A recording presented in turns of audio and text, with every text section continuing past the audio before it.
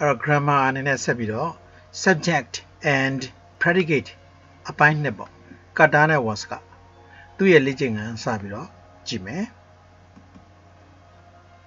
separate the subject and predicate in each sentence below below အောက်မှာပေးထားတဲ့ in each sentence ဝကြတကြောင်းစီတဲက the subject and predicate ကတ်တာပုံနဲ့ was ကနှစ်မျိုးကို separate ခွဲခြားပေးရမယ်။ဘာနဲ့ခွဲပေးရမလဲ with a forward slash ရှေ့ကိုစောင်းနေတဲ့မြင်းဆောင်လေးရှေ့ကိုစောင်းတာ forward မြင်းဆောင်လေးက slash တခုဖြင့်ပိုင်းခြားပေးရမယ် separate လုပ်ပေးရမယ် also ပြီးတော့လည်းပဲ underline တားပေးရမယ် the verb ကရိယာကို and the predicate ဒုတိယအပိုင်း predicate ထဲမှာရှိတဲ့ verb ကို underline တားပေးရမယ် ဆိုပြီးပြရတယ်အဲ့တော့ number 1ကိုစကြည့်မယ်မြန်မာ our country is often called the land of golden pagodas ဆိုပြီးပြထားတယ်အဲ့တော့ခုနပြောရတာဒီလိုစပြီးတော့မှသူ့အကြောင်းရှင်းပြတော့က subject and predicate အကြောင်းစရှင်းပြတော့ကရှေ့ရလာတာက subject နောက်ကလာမယ့်အပိုင်းက predicate ကောင်းပြီ predicate ထဲမှာသူ verb တစ်ခုပါတယ်အမြဲတမ်းဘယ် verb လဲ is is တလုံးနဲ့တော့မဟုတ်ဘူး is called MSR plus verb 3 passive voice နဲ့ရေးထားတယ်တော့ is ကအဓိကဥဆောင်တဲ့ verb ဖြစ်ပြီးတော့နောက်က main verb တစ်ခုရှိမယ် helping verb main verb often ကတော့ adverb အချိန်ကိုပြတဲ့ adverb တစ်ခုမကြာခဏဆိုတဲ့အဓိပ္ပာယ်ရမယ်အဲ့တော့မကြာခဏဆိုလို့ခေါ်ကြတယ်ပေါ့အဲ့လိုအဓိပ္ပာယ်ရတယ်အဲ့တော့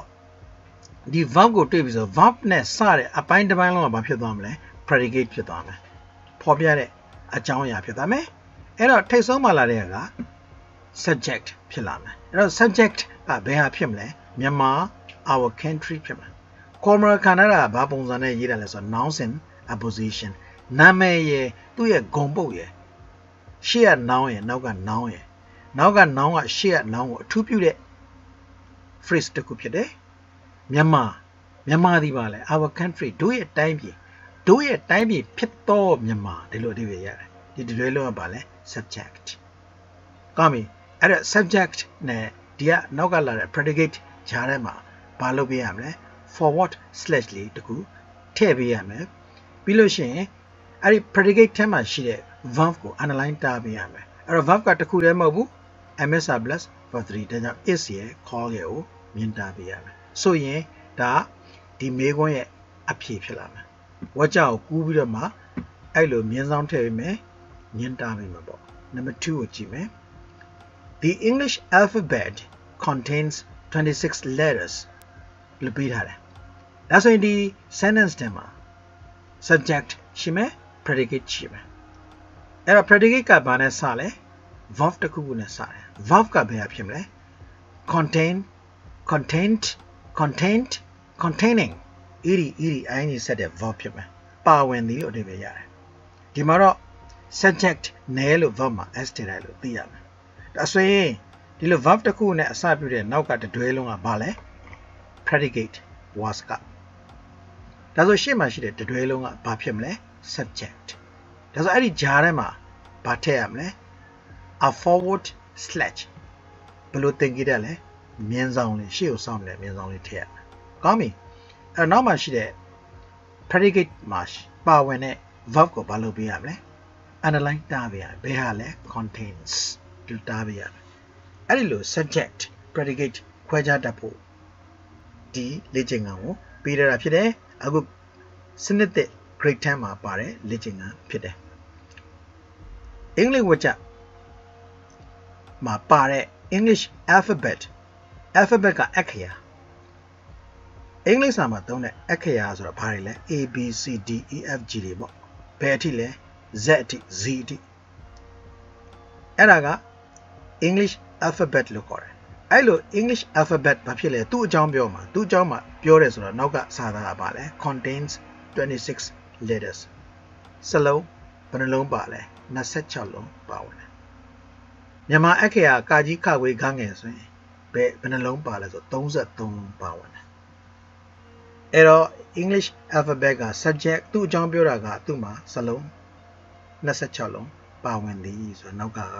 ဒီ subject အကြောင်းဖော်ပြတာဖြစ်တယ်ဒီမှာတော့ကျွန်ုပ်တို့ရဲ့တိုင်းပြည်ဖြစ်တဲ့မြန်မာနိုင်ငံဟာရွှေရောင်လွှမ်းတဲ့ဖျားပထိုးတွေပေါ်များတဲ့တိုင်းပြည်လိုလည်းတစ်ခါတည်းမှာခေါ်ချင်းခံရတယ်ဆိုတော့မှသူ့အကြောင်းမြန်မာ our country အကြောင်းကိုနောက်ကဖော်ပြပေးတဲ့စာသားဖြစ်တယ်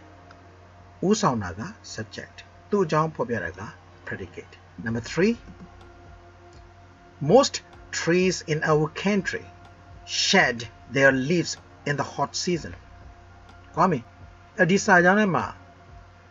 ဘယ်ဟာ verb ဖြစ်မလဲ verb ကိုအရင်ရှာမှာပေါ့ပြီးမှ subject ရှာမယ်လေ verb ကဘယ်ရလဲ shed ဒါကိုသိထားရမယ်အရွက်တွေကျွေတော့ shed လို့ခေါ်တယ် shed shed shed shedding လို့လာရွက်ကျွေတွေပေါ့အဲ့ဒါ verb verb 1 verb 2 verb 3 verb ပိုင်းကြီးခွဲလို့ရတာ verb ဒါဆိုဒီ verb နဲ့အစပြုတဲ့နောက်ကတွဲလုံးကပါလဲ predicate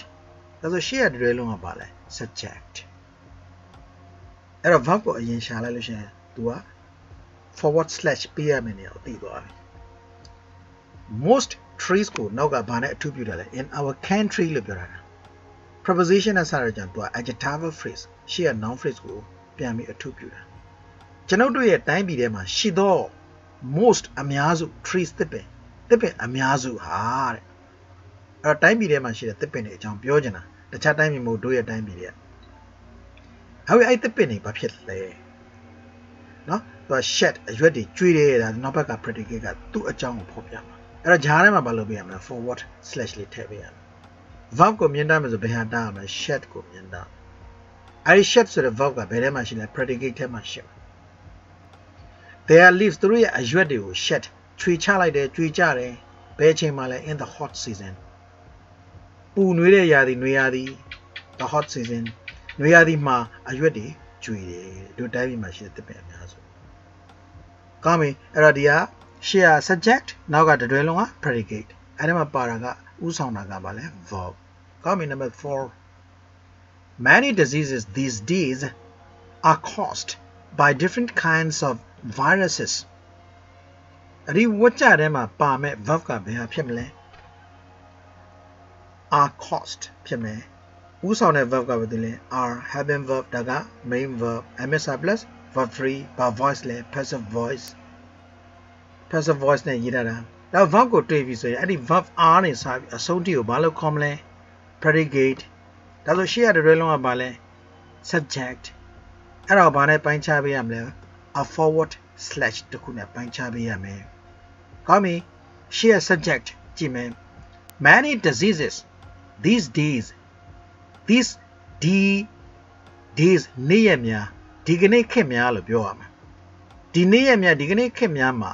many diseases ဖြစ်ပေါ်တဲ့ယောဂတွေများစွာအဒီခေတ်မှာတွေ့နေရတဲ့ယောဂများစွာပေါ့အဲ့ဒီယောဂများစွာအကြောင်းပြောမှာ are cost ဖြစ်ပွားစီဘို င်ဆိုတာက passive voice နဲ့ရေးတဲ့အခါဘိုင်ဆိုတာကဘယ်သူတွေကဖြစ်ပွားစီလဲ different kinds of viruses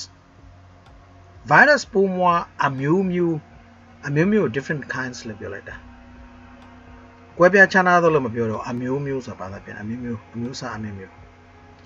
virus အမျိုးအစားအမျိုးမျိုးကဖြစ်ပွားစေတယ်အဲ့တော့ယောဂါတွေ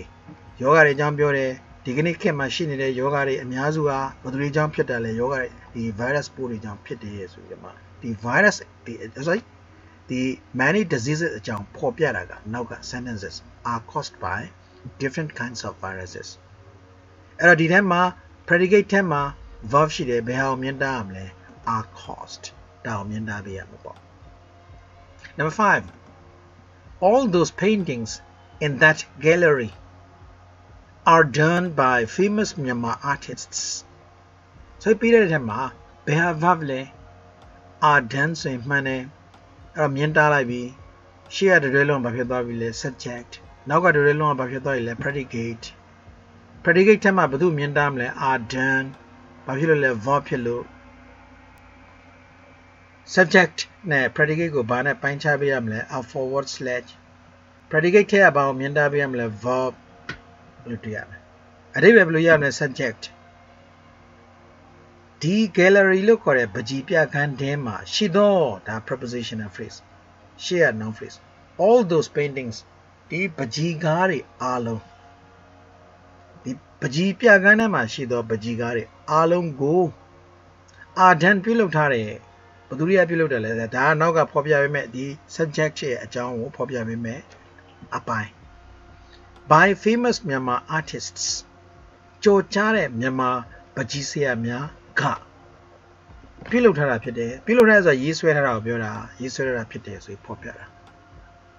အဓိကပြောချင်တာက subject သူ့အကြောင်းဖော်ပြတာက predicate အဲ့တော့ပိုင်းခြားပေးရမှာ out forward slash predicate ထဲမှာမြင်တာပေးရမှာက verb ဆိုရင်ဒီဖြည့်သွားတဲ့အပိုင်းလေးကိုအားလုံးနားလည်မယ်လို့ယူဆပါတယ်